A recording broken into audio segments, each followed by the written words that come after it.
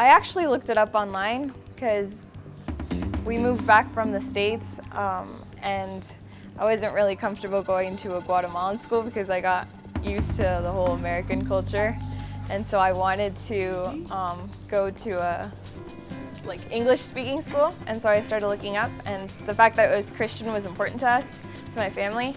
So we were just doing research online and Christian Academy popped up. Well, every year we have Bible um, as part of our classes. Uh, we have English. Um, now that I'm a senior, like your schedule opens up to more like different variety. So I have a film class that I take independently. Um, I take a special independent study where I work with the Dean of Students to do things for chapel and um, for spiritual growth for the school, like work on projects with him. Um, we have Spanish, uh, economics, history, all that. Uh, well, sports we have, we have a lot. Um, basketball, volleyball, soccer, um, track, and then clubs. It's more like we have our elective time. So that's anything from cooking class to art, um, photography to people who do the yearbook. Um, I'm in the worship arts elective where we practice for our chapel and there's choir and drama and all that.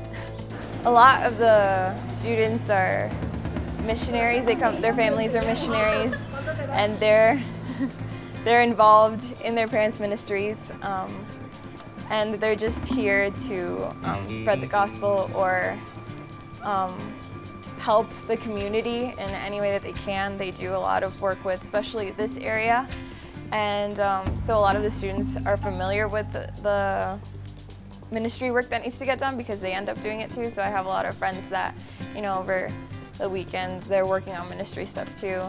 And um, but there's some that aren't involved in ministries, but they are involved in a lot of the stuff that their churches do.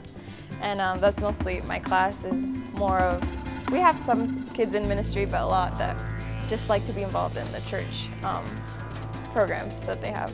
Yeah, we have our discipleship groups. Um, so every class is divided, um, the boys and girls, and we have a discipleship leader. And throughout the year, we pick special projects that we do, and we get chances to go out of school, and we actually get to work with people, work with ministries. Um, like, let's say the girls in my class, we've been going actually for the past four years to a nursing home nearby.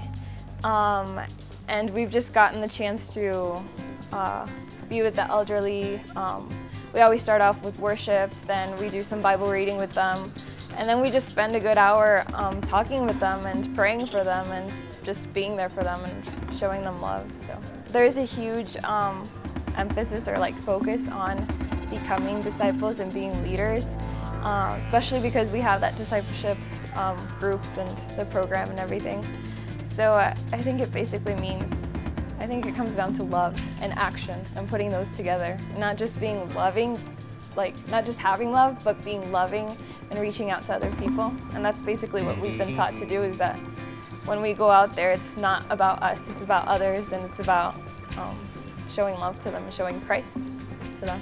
I want to say financially, but mostly I think through prayer is the most important, the most powerful thing is to be praying for, for the students and for the faculty, for, for leaders of God to be raised here and to, to be made and to, to, for us to always keep growing in our relationship with Him, our relationship with other, and for just that passion that we have to just always grow and never stop growing I think, the most important This is like my second home.